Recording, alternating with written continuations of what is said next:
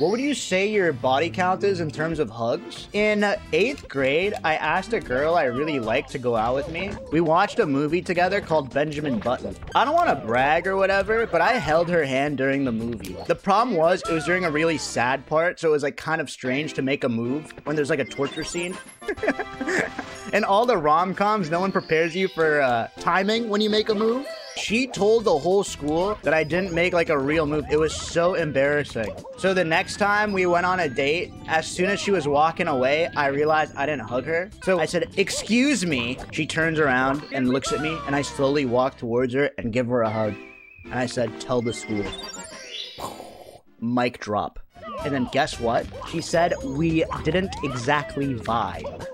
So now she's a successful real estate agent and I'm resetting in Whomps. So guess what? Julie, you really fucking missed out, didn't you?